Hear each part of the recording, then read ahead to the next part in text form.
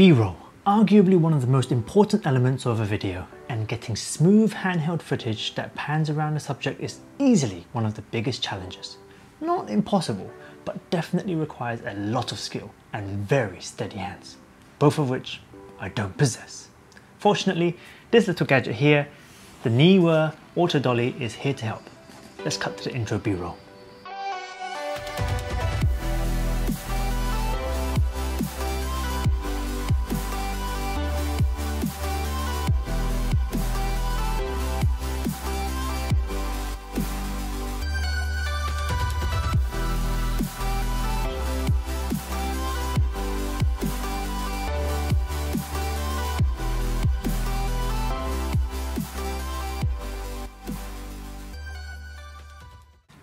This is Klembo from Zentech Life, where we love all things to do with lifestyle tech and gadgets.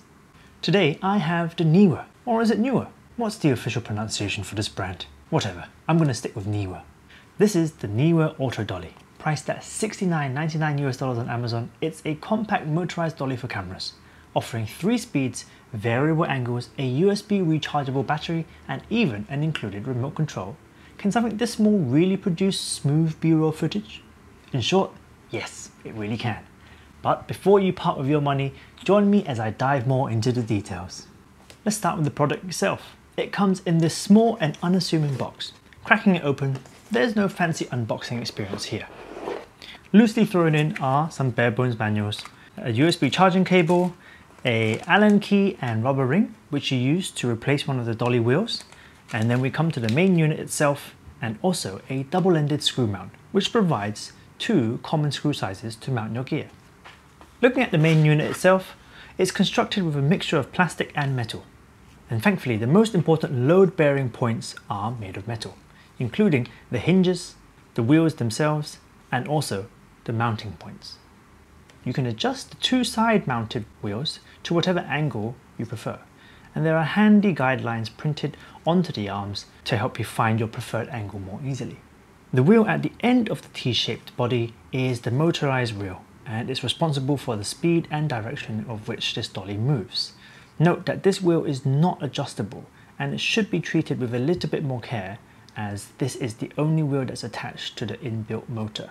Moving to the sides of the body, we have the micro USB port and on and off switch. And on the other side, we have four LED lights, with each light representing something different the leftmost light signals the dolly's charging status and the other three show you the speed of the dolly. Pressing the speed button adjacent to the LEDs allows you to adjust the speed to slow, medium and high, which according to Neewer represents a movement speed of 1.4 centimeters, 2.4 centimeters and 3 centimeters per second respectively. The last physical button you'll find is the direction button. Pressing this makes the dolly alternate between moving left or right.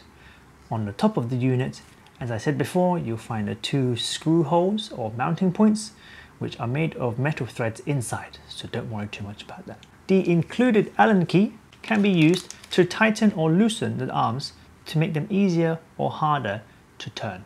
The same Allen key can also be used to loosen the middle bolt in order to extend the body of the dolly, which is useful if you have a slightly larger or heavier setup, such as a full frame DSLR or really heavy lens. It will give the dolly a slightly sturdier base and thus reduces the risk of the setup toppling over. The product description for the Neewer Auto Dolly also shows a max load of 3 kilograms, which sounds kind of realistic as my Fujifilm X-T4 coupled with the 16 to 80mm f4 zoom lens was handled with ease and felt especially stable after I had extended the length of the dolly. The included screw mount adapter is okay in a pinch, but really you'll want to grab a ball head mount to use with this dolly, as that will give you much more flexibility in terms of where you can point your camera. Having said that, if you have a larger DSLR, you may want to check the combined weight of your body, lens and ball head mount to see if the total is still less than 3 kgs, just in case. Taking a quick look at the wireless remote control, it's nothing fancy and essentially mimics the controls that you find on the main unit. It has a start and stop button, a speed toggle button, and a direction button. Nothing much to say here, it works as intended and it's nice that there is an option to control the dolly remotely so I don't have to constantly reach for it. So what's it like in action? Very good actually. The compact size of this dolly means it fits great even on small tabletop surfaces. With some experimenting of the wheel angles, you can get some perfect horizontal panning footage, orbital footage, and even zoom ins and zoom outs. Not only does this gadget allow you to record smooth footage, but it also frees your hands to mess around with lighting. Traditional sliders are still great, but they also require you to manually hold and slide the camera along the rails. So a benefit of having an auto dolly is that it will continue to operate by itself, so you can focus on some creative lighting techniques or manipulating the subject that you're filming. Are there any downsides? Sure there are. It's annoying that this still uses micro USB instead of USB-C. Also, the motor is quite noisy, so it's not great if you're planning on recording audio at the same time. The compact size of this dolly is also its weakness when it comes to rough or bumpy surfaces. It moves effortlessly on something smooth, but with wheels this small, it probably won't fare well on high pile carpets, gravel or any other surface with a bumpy texture.